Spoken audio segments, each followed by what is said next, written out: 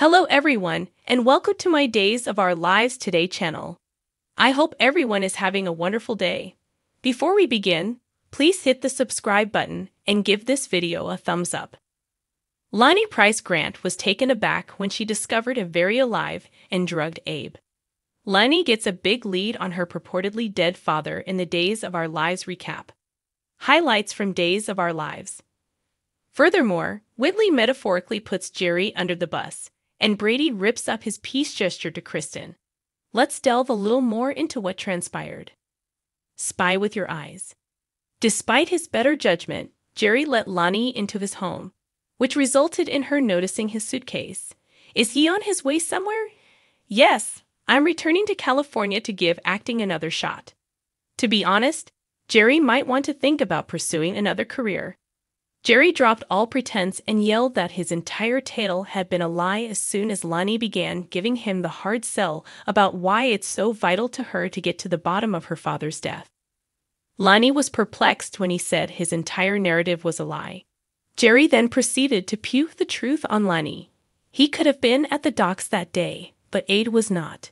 And while Abe's blood and the scene were discovered along with his hospital ID bracelet, Jerry planted them. Lani had a gut feeling that Abe had died at Jerry's hands, but Jerry admitted that it was all Nurse Whitley King's fault.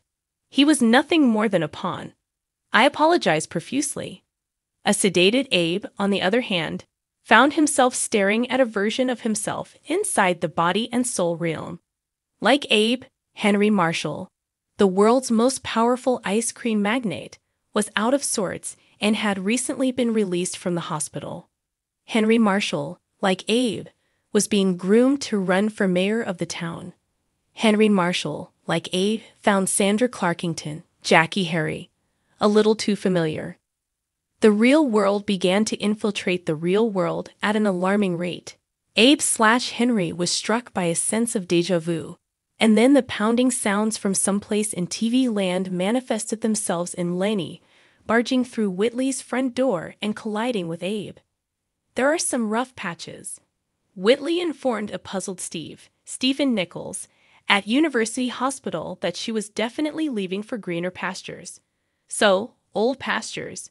Scottsdale, Arizona, to be precise, is her hometown. Steve believed it would be wonderful for her, especially with so many family members nearby, such as her four brothers. But hold on, Steve, how did you find out about her family? Of course, it's from the FBI's background check. Whitley finally admitted that it wasn't her, but Jerry, who was the last person to see Abe on the day he went missing from the hospital, after more prodding from Steve. Or, at the very least, most likely. After all, Jerry was in Abe's room, and she saw him not. With that new information in hand, Steve obtained Jerry's address and proceeded to the location, obstructing the young man's attempted escape. Meanwhile, Whitley lingered at the nurse's station, muttering to herself about the importance of her acts. Vision via a tunnel. Brady and Belle, Martha Madison, caught up elsewhere, on a single bench in Horton Town Square. He told her about his assumption that Kristen had kidnapped Rachel, and she told him about Sean's suspension from the force and his struggle with demon booze. Kristen hinted to Marlena at the DiMera estate that if Brady revisited Rachel's custody agreement, the small girl would be miraculously returned to him.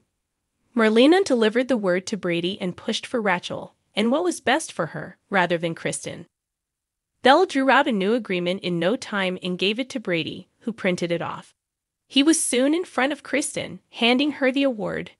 Brady tore the document to tears and flung the fragments over the room as Kristen happily appended her Jane Hancock to it and handed it back over. No more games. Laney has been drugged, John has broken in, and Belle has a connection. According to Days of Our Lives spoilers for Monday, July 17, Lani Price Grant will be drugged. Brady Black rips the custody agreement to shreds. Jerry Prentice apartment is broken into by John Black and Steve Patch Johnson.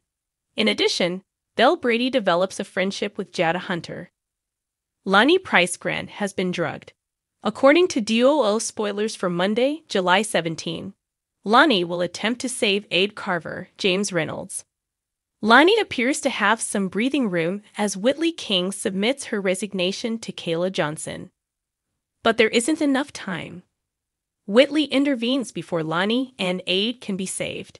As a result, Abe and Lani are both held hostage and drugged.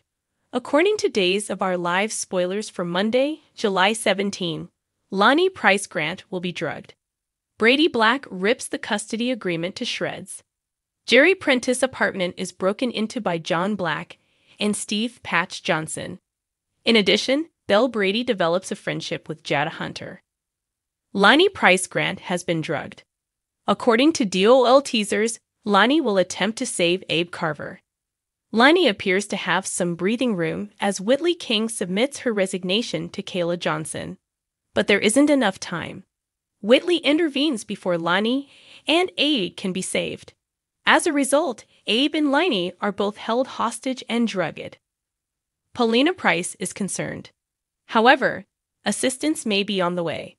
Ray Fernandez and Paulina Price are said to be concerned when Lani goes missing. Lani must return to prison by a specific date and hour. Therefore, the clock is ticking. Break In by John Black. According to Days of Our Live spoilers, John and Steve are investigating what happened to Abe. It has been hinted that John and Steve will break into Jerry's flat in Monday's episode. Now Jerry is a reluctant collaborator rather than the true evil.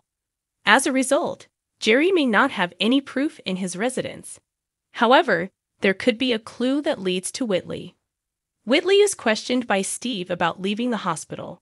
As a result, the dots may begin to join, resulting to a double rescue. The 17th of July is a Monday. Brady is expected to rip up the custody arrangement on Monday, July 17. Brady and Kristen DiMera, Stacy Haiduk, are feuding over Rachel Black, Finley Rose Slater, according to Soap Opera Digest magazine. Kristen, of course, is a professional crook, master manipulator, unpredictable risk, and psychologically unstable. Kristen, on the other hand, would never purposefully harm her own daughter. The issue is that Kristen might endanger Rachel without even realizing it. While hunting for Rachel, Belle, and Jada are expected to bond. As a result, some unexpected plot arcs may emerge. Which plotline are you most excited to watch on Monday, July 17? What do you think will happen to Brady, Kristen, Rachel, Whitley, Paulina, Rafe, Jerry, and Abe? What is in store for John, Steve, Jada, Belle, and the other Salemites in the future? Please leave your comments in the section below. Keep watching the Peacock drama to find out what happens next.